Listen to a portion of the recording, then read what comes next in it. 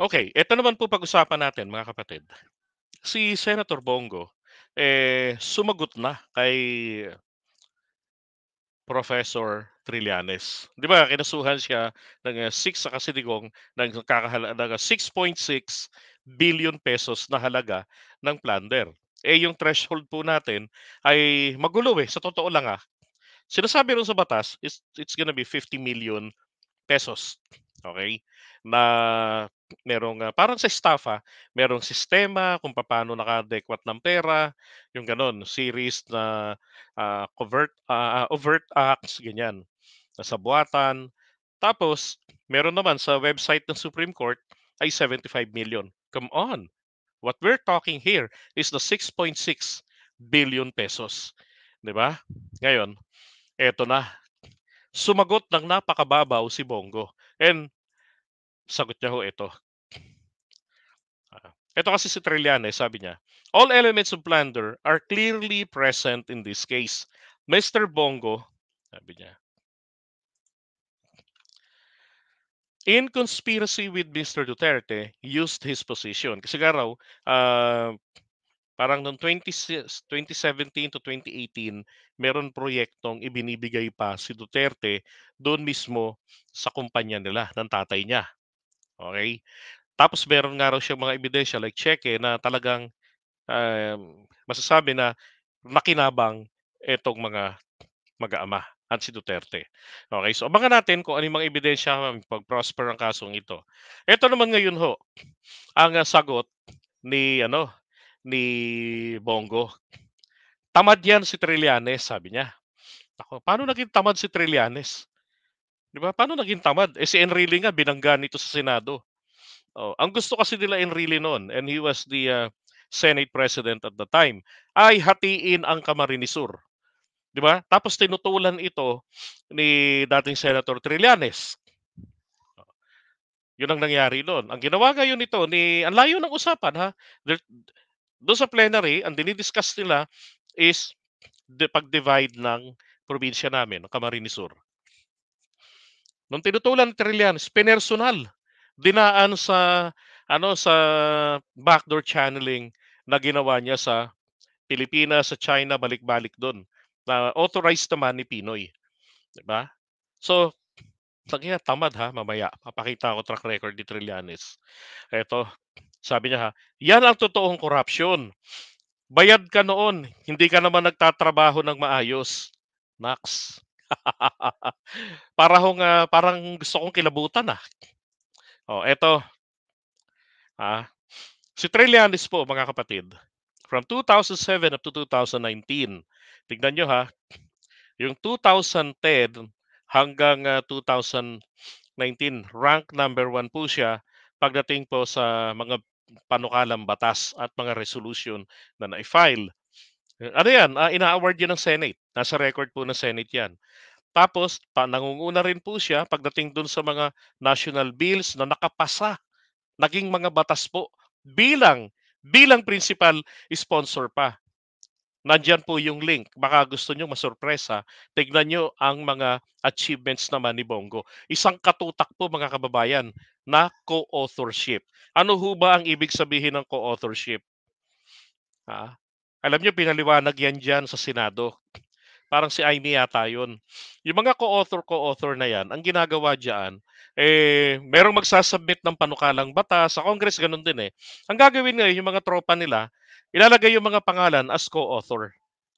Pero pagdating do'n sa debate, ang makikipagbakbakan is the principal author, kasi kanyang utak 'yan, eh, 'di ba? Eto ngayong si co-author, why they do that, para po meron silang kakampi, and that is championing Bongo. Pano i-click ninyo yung link diyan, ah, para madismaya kayo. Eto, ah, pagdating naman po rito, number 1 din siya pagdating sa, ah, national bills passed into law, 97 po 'yun, ng 2007 hanggang 2019. Okey, ito 2010, 2019, 2010, 2016. Okey, ngayon eto pa, yung mga ilan sa mga masabi nating life-changing. Hindi po yoong, ah, kagaya kay Bongo na trabaho ng DOH, pinanghimasukan ng senador, para bumida. Like yung mga yung uh, pinagdebatehan nila ni Franklin Drilon, naalala nyo ba? Oh, mamaya play natin 'yan. Eto, sabi rito ha, increase of subsistence allowance ng mga uniform personnel. Siya ang principal author. Hala nyo si Duterte ha. And then new AFP Modernization Act, principal author. Salary is Standardization Law 3, co-author. Instit- institutionalizing the Pantawid Pamilyang Pilipino, the 4Ps. Sa kanya rin po nanggaling yon. Magna Carta of the Poor, principal sponsor. Anti-bullying law, siya rin ho ang principal sponsor. Lahat po yan naging batas. Ito pa, Archipelagic Baseline Law, siya rin ho ang principal author. Diba? Kaya bang gawin niya ni Bongo? oh. Ito pa, Gun Control Act. Diba? Siya rin ang principal author. Immediate release of retirement benefits of government employees. Diba? Kasi dati, pag nag-retire yung mga empleyado, walang iya, halos eh, mamalapit na sila sa kamatayan, ang tagal bago ma-release. Eh sabi nga noon, eh, pinagkakitaan, na-release na. Pero merong opisyales na pinagkakakitaan pa, nakadeposito sa account niya. O, kumikita pa sa deposito. And then makalipas ang ilang panahon, saka lang i-release. So nung panahon niya, natigil yan. Napabilis ang pag-release. O, ito pa, Marina Law. 'Di ba? Principal sponsor and co-author, cheaper medicines. Yung bill na yan, naging batas din. 'Di ba? Ito pa, Expanded Senior Citizens Act. O, co-author, naging batas po yan. Tapos expanded pag-ibig fund coverage, co-author, naging pumasa rin. Yung uh, national ID natin, siya ang co-author. Hangayon, buong bansa natin. 'Di ba? Alam niyo ngayon mas mabilis po ang uh, pink coffee. Mas mabilis ang ano, ang uh, pag-release ng ID ngayon. Pupunta rito malapit sa amin, pabalik-balik yung mga yon. Oh, so yung mga bago hong nag, nag-sign up for national ID, madali silang nakakakuha. Yung mga dati, I suggest, umulit kayo. Okay, bakit? Nakurap na kasi yung budget dati. Totoo yun. Di ba? Oh, panahon ni Duterte, sige nga. Sino rito nakakuha ng ID nila sa loob lamang ng isang buwan? Oh, ang tagal doon. Okay, ngayon, eto naman po. Apps, eto ha. June 7, 2016, Trillanes sa Senate po ito. Press release ng Senate yan. Trillanes has most number of national bills passed into law. Ayan po. Nandiyan ang link sa ibaba. Okay. Eto ngayon, tignan natin yung kanyang uh, background. Ewan ko kung may ganitong background si ano si Bongo. Okay, so tignan niyo po.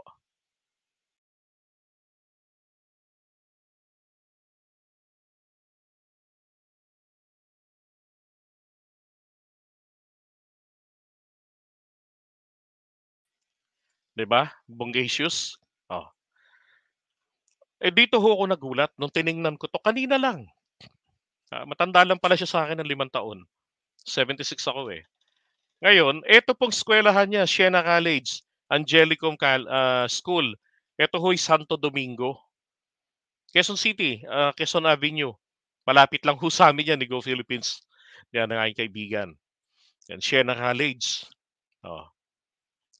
Okay. So, ano sila? Catholic. Tapos, eto na. Nag-aral po siya sa De La Salle. Okay. Uh, De La, ayan, De La Salle University, DSECE. So, engineer po siya. Tapos, nag-PMA. O, Bongo, ano ka? Ito ba tamad? Ano ba pinag ano ba background niya? Hindi ko sinasabi walang pinag-aralan na si Bongo, pero gusto ko lang matanong. Ano ba ang uh, ba, school record mo, background mo. 'Di ba? Tapos meron pa BS Naval Systems Engineering. 'Di ba? Philippine Military uh, PMA 1991 to 1995 and then cum laude po siya, Mathematics plaque, Physics Physical Science plaque, Tambuli Award. 'Di ba? Dami.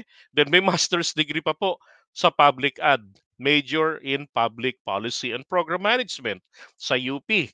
Oh. Diba? Tapos mga awards pa niya. Grabe. Oh, ito pa yung kanyang professional achievement. Makikita niyo po 'yan, naandiyan po yung link. Kaya nga sinasabi ko, eh, dahil po ito, dito ito lang po nakakapag-alala sa akin. Ha? Ito pong uh, si Bongo po, uh, kung di ako nagkakamali, pasok po ito sa ano eh, top 6 ng ano, top 6 ng survey ng Publicus Asia. Etong si Bongo. Yan. Ngayon, dahil po pasok siya doon sa top 6, eh, alam niyo para sa akin dapat eh, ano yan, ah, eto hong si Trillanes ay dapat pong tumakbo sa Senado. Bumalik siya sa Senado para talagang uh, hindi naman sa para magkaroon sila ng gulo doon, bagkos ang aking ibig sabihin, eh talagang mag-ano sila, uh, magkaharap sila, magka 'di ba? Magkaroon naman ng saysay. ang binabayad natin kay Bongo. It, this is inevitable. Mananalo si Bongo. Okay? Oh, ganun yun na, yun ang nakikita natin dito. Kung hindi po gagalaw ang survey na yan. Di ba sabi ko nga sa inyo, mag-analyze nyo yan, etong natitira na to, eto ang delikado. So etong mga to, magre-rigudod yan. Di ba? Ang bababa dito sa mga yan, bababa rito, yari. Pag yung mga yan ay nanatili po hanggang December, sure win po yan. Bababa lang siguro yung mga yung boto na makukuha ng mga to pag nagbago ang galaw ng panahon, 'di ba? Oo. Ano gagawin natin? Pero marami pa naman pwedeng mangyari. It's too early. Okay, it's too early. Pwede pang maraming mangyari. Then, yung mga pinakita ko po sa inyo, hindi naman yun po ang basihan ko. Kaya dapat si Trillanes po ay bumalik sa Senado. Hindi po siya dapat sa Caloocan para mag-mayor. 'Di ba? Hindi doon, wag na doon mas kailangan siya uh, ng mga Pilipino sa Senado. Katulad siya nila ano, nila Lacson. Oh, mga magagaling, 'di ba? Now, uh, well, ako gusto ko talaga sige po mag uh, sina, mag-senado. Yan, kung ayaw niyang manatili hanggang 2028. 'Di ba? Lenny, posibleng tumakbong Senate 'yan. Uh, nagpaparamdam na 'yan, nagpapahiwatig na. Kahit na nagsabing magnanaga mayor siya. Marami pang pwedeng mangyari. 'Di ba? So eto ngayon, panoorin niyo naman po itong bakbakan nilang dalawa ni ni ano, ni Boy Tulog. Tinawag nila, tinawag namin na Boy Tulog.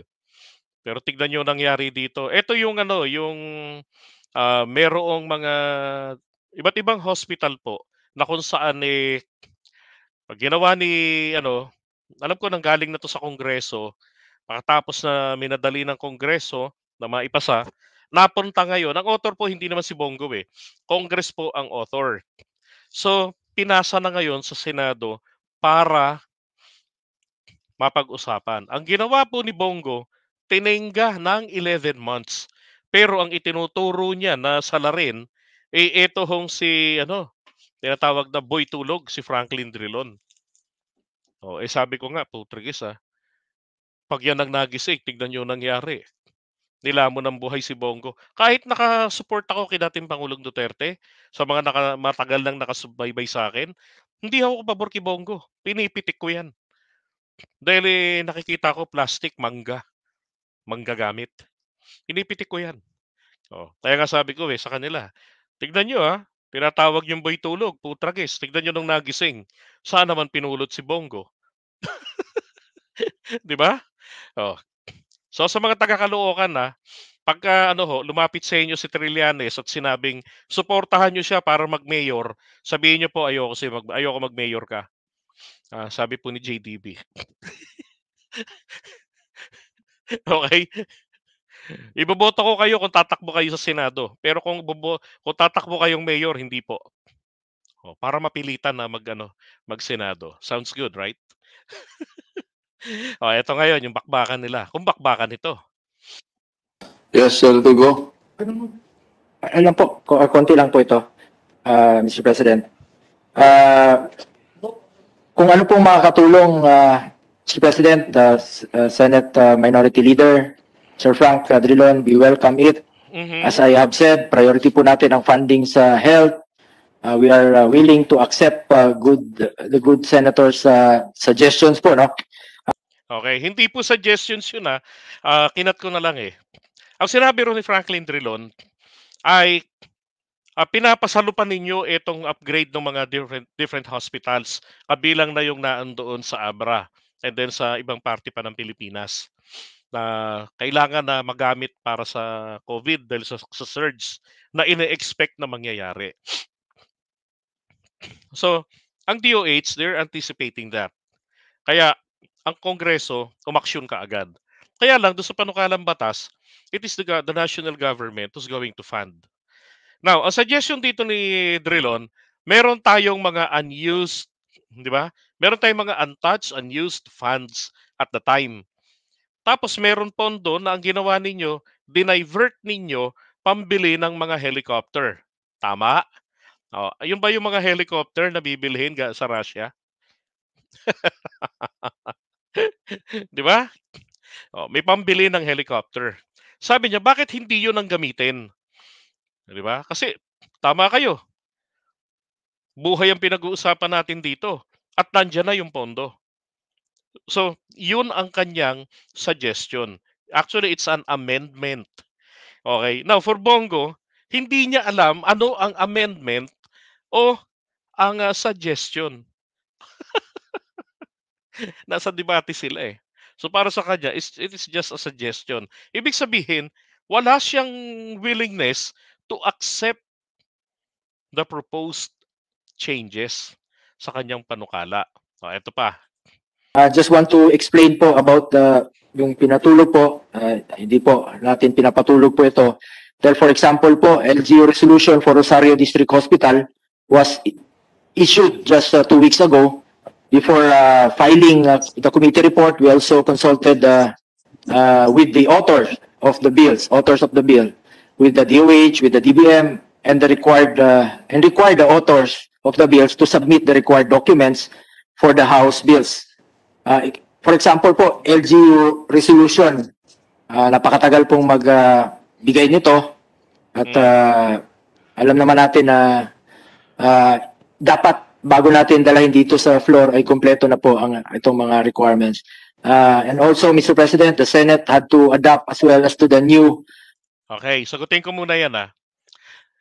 Ngayon, yung sinasabi rito ah, ni Bongo na late naman kasing dumating, hindi ko naman pinatatagal, late naman dumating yung mga submission ng mga yung sa mga hospital, yung mga parang request nila. Eto ngayon. Ang totoo po, binarayan eh. Kanina pa yan sa mahaba yung debate na, may isang oras yan eh. Binarayan, dahil binanggit niya yan, binaraya po yan nito ni ano ni Drilon. Sinabi niya na yung mga dokumento lahat-lahat kompleto na nakasubmit na sa'yo. Inupuan mo ng 11 months, tinengga mo sa committee mo. Kasi tinignan po nila anong petsa ito na receive ng Senate mula sa House. So, so nakita nila ngayon doon, ni-refer ito sa committee ni Bongo, Committee on Health. Oh. So ibig sabihin, nasa kamay ni Bongo. Tapos nung tinake up dyan, isang taon na po mahigit. Tapos dahil nagkaroon silang apat na oras sa debate, eh dahil nga yung mga propose, yung laman ng proposal, eh sinasabi ni, ni Drilon, bakit kayo, ba't kayo maghahanapan ng ibang pondo? Kasi mangungutang eh. Mangungutang noon. Sinasabi niya, meron tayong available na pondo para mabilisan dahil nagmamadali ka mo kayo, ka, ka, kayo ta, ka mo. Gamitin niyo yung ah, pinambibili niyo ng helicopter na dinivert pa ninyo yung un, ano untouched fund.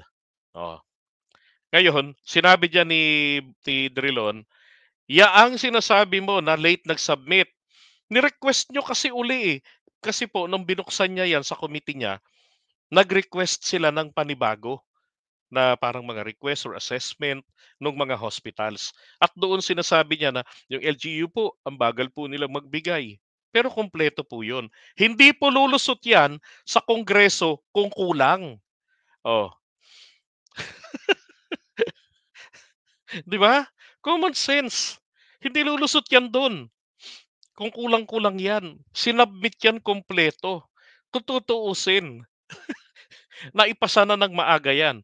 Pero ang ginawa ni Bongo, inupuan. Bakit inupuan ni Bongo? Yun ho pinakamagandang tanong dito eh. Papa, pa, sino po ba tamad? Sino ba umupo ng, ng 11 months? Parang si Amy. Dalawang taon, inupuan yung sariling panukalang batas. Di ba? Kahit pa paano, okay pa si Bongo eh. Galing Congress eh. Kay Amy, sariling panukalang batas. Na-refer ng August o July sa kanyang committee hanggang anong ah, 2022. Hanggang ngayon, walang nangyayari sa hybrid elections bill at saka yung new omnibus election ah, code proposal niya. 'Di ba? So, going back dito, eto ngayon po, yung kanyang mapaliwanag diyan. Kasi napahiya siya, sinabihan siya na hindi po ako yung nag ah, hindi po ako yung nag-delay nito. Kayo po ang nagpatulog nito.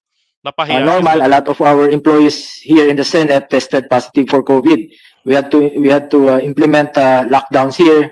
So many factors contributed to the time it took uh, to report uh, those uh, these uh, bills to plenary. And also, Mr. President, last year uh, we also focused on COVID-19 bills like establishing mandatory quarantine facilities, medical reserve corps, and others. Uh, also, Mr. President, and uh, at ayaw rin nating magpasa ah, pumunta rito sa plenary na marami pa pong mga requirements na hindi pa po nasumiti ang iba't ibang ahensya ng ah, gobyerno.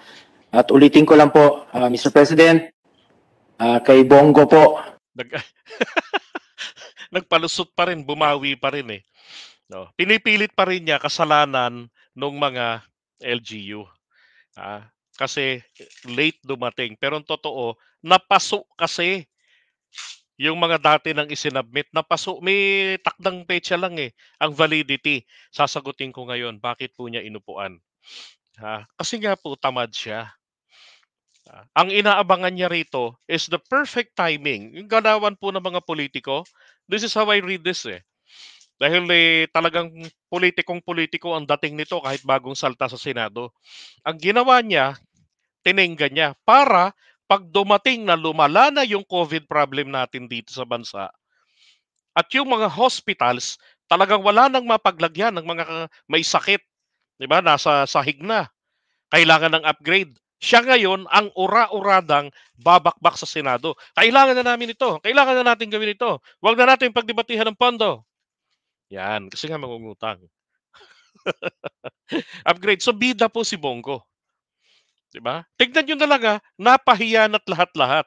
Ha? Nakuha pang magdrama. Oh, Bongo po, walang tulog po ang serbisyo. ano daw? Kay Bongo po, walang tulog po ang serbisyo. Ah. ah, kay Bongo po, walang tulog po ang serbisyo. See? Nakuha pang mag-plug. Bakit binabanat niya na kay Bongo po walang tulog ang serbisyo? Kasi po ikakat nila yung video. Tapos ipopronta nila yan sa eleksyon at ngayon lalabas to. Lasin sa Senado, ini-insist niya na ah, kay Bongo, 'di ba? Serbisyo ang ah, bisyo ang ang ah, serbisyo. Oh. Tapos eh kay Bongo walang tulog ang serbisyo. Anak ng baka. Lahat na lang politika. Hmm. Thank you, Mr. President. Mr. President, can I ask a question? Mr. President, can I ask a question? Yes, go ahead. So hindi po totoo, Senator Go, na pinapatagal ko po itong mga pagpasal itong mga batas na ito. Yun, dito na ngayon. Tingnan niyo sagot ni Bongo ha. Dahil maliwanag na Enero pa lang ay nasa committee na ng health kung, kung saan kayo po ang chairman. At doon po tumagal Nangingiti-ngiti si Drilon eh. Tulog yan ha, tulog pa yan, kagigising lang. ang panukalang batas. Sinabi ko po kanina, Mr. President, that the minority leader and I and all of us just want to help our country. Ayaw sumagot ng diretsahan ha. Diba? Ayaw dumiretso ng sagot. Pwede namang mag-sorry. Sa gitna po tayo ng May tanong pandemya. po ako. May tanong po akong specific. Sinabi niyo po nung nakaraang uh, ayaw ko na po sana buksan ito. Ngunit kayo po, mahaba ang manifestation niyo. In effect, sinisisi niyo pa rin tayo. Sinabi niyo po nung nakaraang uh, sesyon na bakit ko pa pinapatagal itong pagpasan itong mga panukalang batas. Napakita natin na sa record ay hindi po totoo yan. Dahil lang po nagtenga at doon nagpending sa komite, may isang taon po itong mga bills na ito bago po dalhin sa plenaryo. See? oh, sabi ni ano, ay hindi, mamaya na yan. Eto, wag wag nyo nang sira, seraan si Bongo. Ah, ano si Bongo? Tiyak mananalo yan sa pagka-senador. Sir, paki-define pong maigi ang ah, sinasabi ninyong paninira. Ano po ba ang ibig sabihin o standard o definition ng paninira? Bago ko po yan sasagutin. Kasi dapat po naiintindihan nyo po yung sinasabi nyo, di ba? Para makasagot ako ng tama. Kailangan po calibrated tayo. Kasi mukhang iba yung definition nyo eh. Alright? Ah, pasok. Nasa pandemya po tayo, Mr. President, at ayaw po natin may masayang na oras. And I'm, I know you have a good heart to help our fellow Filipinos, Mr. President. Maraming Simple salamat. po ang tanong ko. Hindi totoo Ngiti-ngiti si Bongo eh. Naipit na eh. sa Senator Go na dinilay ko ito, na pinapatagal ko ito mga bills na ito. I'm referring po dun sa ating ah, apat na oras na uh, pag-debate, Mr. ah, Si, sinabi niyo po, sinabi niyo talaga and pointing to me. You said that you pretend to support these bills, but in fact you do not. And you say, pinapatagal ko ang pagpasa nito mga panukala batas. Hindi po totoo yan, hindi po ba? Now I am convinced, Mr. President, that you are willing to help uh, these uh, measures to be passed, Mr. President. Thank you, Okay. Mr. President. Gentlemen, Umamin din eh. Bandang huli, di ba? Oh. Sino ngayon dito po ang tamad? Di ba? Huling-huli, di ba? Sabi nga ni Cosmo Defender, boom, huli ka. Di ba? O ngayon, ganyang klaseng senador, ibabalik nyo. Di ba? Unang-una, pagka tayo po iboboto ng senador, unang-una titingnan natin, alam ba niya ang trabaho ng senador? Eh, ang problema ho, baka ho tayo, di natin alam ano ba ang trabaho ng senador. Kasi ho, kapag ka ang nasa isip po natin, ang senador ay ah, ah, tagabigay ng ayuda, potek, DSWD po yung nasa isip nyo. Mali po yun. Okay? Wrong person po yung binoto natin. 'Di ba? Pagka ganun. Dapat po gagawa ng batas, makabuluhang batas, hindi yung pasabit-sabit. Dahil yung pasabit-sabit, ang track record, nako, yan po ang totoong tamad. Ayaw mag-isip. 'Di ba? eh, yun na nga lang ano eh, yung bigayan na lang ng Ikes na paborito ni Senator Aimee. Ano ginagawa ni Bongo? Magbibigay, magpapa-Jollibee. Oh, tapos kailangan ma-mention ng pangalan. Eh nung nag-instruct yung taga DSWD na huwag nang magbanggit-banggit pa ng mga pangalan ng kung sino-sino, nagalit. Sinita sa Senate hearing. Bakit eh hindi tina, hindi inano ang kanyang pangalan, di siya, 'di ba? ah, nagbigay daw ba ng utos na ah, huwag babanggitin ang pangalan ni Bongo. Eh yung mga pa-Jollibee yun galing sa kanyang bulsa. Kailangan mong isumbat dudong. Okay. So ngayon, ah, kahit yan po ay pasok dito sa ah, survey, it's too early mga kapatid. Di ba? Oo. Madali lang naman yan eh. Sabihin natin mga kamag-anak natin, mga kaibigan, na, oy, wag niyong boboto yan. Grabe yung ginawa niyan. Ang hirap hanapin. Magaling lang magbintang. Di ba? At may bagahe, kailangan niya munang harapin yun. Mm. May bago pang isinampang kaso dyan. Si ano, Trillanes. Pag-usapan natin mamayang umaga. Okay, so iwan na natin to. Now, doon sa mga naghahanap naman ng ah, achievements ni Bongo, bukod po doon sa Malasakit Center, well, marami naman po. Para ho kayo makumbinse, kayo na ho ang makakita